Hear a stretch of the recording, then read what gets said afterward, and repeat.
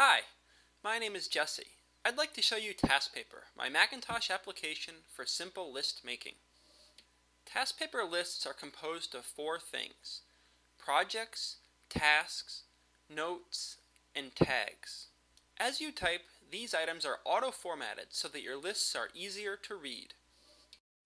You can see each of these elements in the Getting Started instructions that are displayed when you create a new document. Project lines end with a colon. Task lines start with a dash followed by a space. Note lines are any line that isn't recognized as a project or a task. Tags start with the email at symbol, followed by a name and an optional value.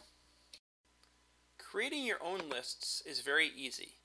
Type them in directly, just like you would in your favorite text editor. TaskPaper's auto list formatting makes entering tasks even faster. Adding tags to your lists is easy too. Type the email at symbol followed by the tag name. If you are adding a tag that already exists somewhere else in your list, then you can use autocomplete to apply that tag even faster. Now I'll show you how to work with the lists that you create. First remember that your lists are just text. You can always edit them with cut, copy, and paste, just like in a normal text editor. And if you mess something up, you can use undo to reverse your changes.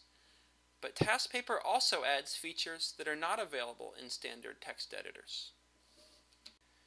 Each entry in TaskPaper has a drag handle immediately to the left of the entry's text. When your mouse is over the handle, it will highlight. You can reorder your lists by dragging your entries by their handles. When you have completed a task, you can apply the Done tag by clicking once on the entry's handle. After the Done tag is applied, the entry will display with a line through it. Later, you can move all done tasks to the archive by choosing the menu View Archive Done Tasks. You can also just delete completed tasks by pressing Command K. That instantly removes the task from your list so that you never need to think about it again. This is a good time to mention that all TaskPaper features are fully accessible through keyboard shortcuts.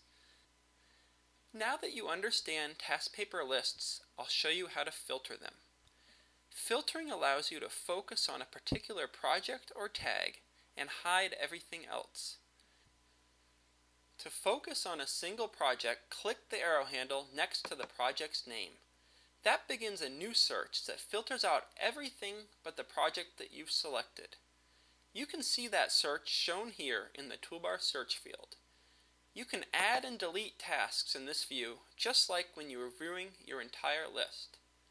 When you are finished and ready to go back to your entire list, click the project's arrow handle again to cancel the search.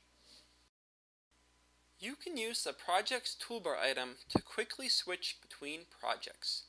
My favorite keyboard shortcut is Command L. It brings up the projects list and allows me to switch between projects by using only a few keystrokes. You can also filter by tags. Let's go back to the main view and add some Today tags. Now, when I click on a Today tag, only those entries are shown. TaskPaper also provides a Tags toolbar item that allows you to quickly filter based on any tag in your document. You can also filter your document by typing simple keyword searches into the toolbar search field. For example, when I type tasks, only entries that contain the word tasks are shown. TaskPaper also understands a flexible query language. Learning this language isn't necessary for using TaskPaper, but if you do learn it, you can be more specific with your searches. For example, here I'm finding all tasks that are tagged with today and are also in the Getting Started project. TaskPaper's query language is fully described in the user guide, which can be found through TaskPaper's help menu. I've now covered all of TaskPaper's fundamental features. Now let me show you a few extras and share some tips and tricks for working with TaskPaper. The Quick Entry window makes it possible to add tasks even when TaskPaper is not the active application. Use the global keyboard shortcut Command Shift Return to show the window. Select a project to add your task to, and after entering your new tasks, use Command Shift Return again to add your tasks and close the window. The projects list displays a separate list of only your projects. To show the projects list, choose View Show Projects List. You can use this list to navigate between projects. You can also drag and drop entries onto the projects list to move them to a new project. Tab views, or just views, make it possible to have multiple views of your lists. To create a new view, choose Window, New View.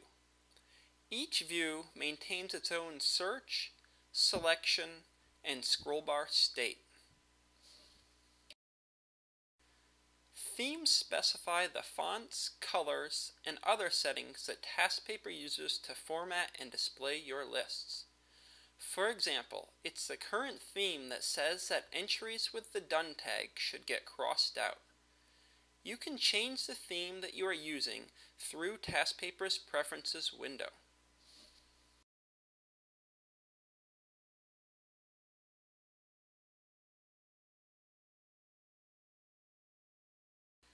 TaskPaper is designed to be a simple and flexible application. This is how I prefer to use it. First, I like to hide all the extra user interface elements, such as the toolbar, tab views, and the projects list. This leaves me with a simple text view to work in. TaskPaper is designed so all features are accessible with keyboard shortcuts, so I still have full access to TaskPaper's features, even in this minimized mode. For each big thing that I'm working on, I create a new project. For example, I have a project for each of the applications that I'm developing, a project for the books that I want to read, and a project for the website work that I need to do. Right now I have about 20 projects overall, but before cleaning things up for this screencast I had about 30. I'm proof that you don't have to be particularly neat and organized to use TaskPaper.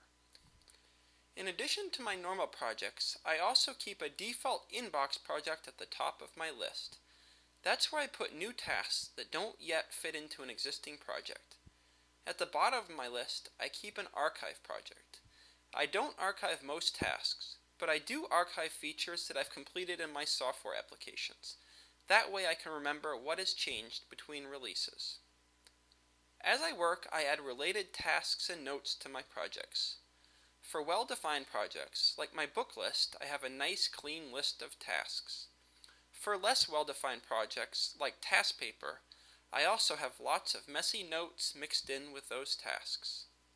I don't use tags very often, except for the done tag and sometimes the today tag.